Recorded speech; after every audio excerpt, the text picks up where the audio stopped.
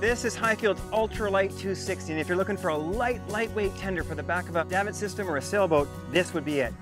Marine grade aluminum construction, but single hull floor for the least amount of weight possible. This boat by itself only weighs 68 pounds. You add a little five horse, which adds another 50. So total package, one of the lightest in existence.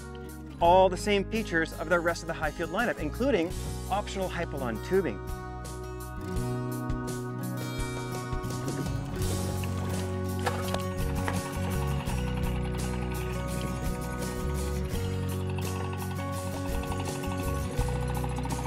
Other than a few stowable roll-up models, all Highfield inflatable boats have rigid aluminum hulls, which are welded for strength and powder-coated for durability. Even their lightest single-floor models are welded, which provide a level of rigidity not found in slotted hulls. Combined with added buoyancy from oversized 15-inch tubes, this 8.5-foot boat is surprisingly stable. This particularly benefits passengers that might feel uneasy in a smaller boat. As with all Highfields, the UL260 PVC seams are hot welded, which tends to be more durable than traditional gluing.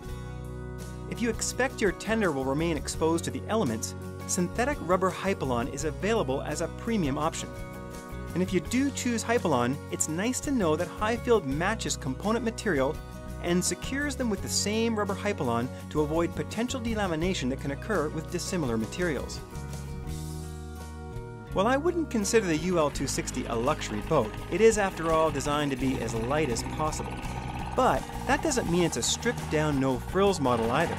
The removable seat is standard equipment and designed to float just in case it goes for a swim. The seat cushion with integrated storage has to be one of the handiest features helping keep your gear dry and off the deck. Notice the non-skid material on the deck? Also standard equipment, as is the full-length keel guard and rub strake.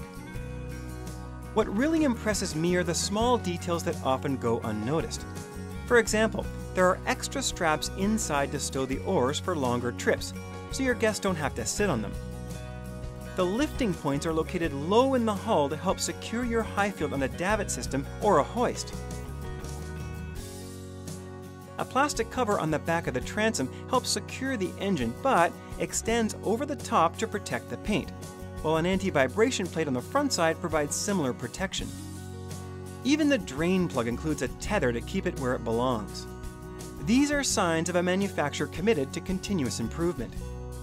In an environmentally conscious time, it's also interesting to note that aluminum, as opposed to its GRP counterpart, is easy to recycle. As an added bonus, the powder coating method has the benefit of releasing fewer toxins to the environment than traditional painting. The little 5 horsepower Honda isn't going to break any speed records, but it does eliminate much of the work with those more distant moorings. However, if you prefer to row, it's nice to know most of your effort will be translated into forward motion, as rigid inflatables tend to be more efficient than those with soft bottoms. In fact, if your exposure is limited to soft bottom inflatables, you really must experience the benefits of a rigid aluminum tender. They are incredibly stable, row like a dream, and with a little outboard, you might find yourself exploring new anchorages.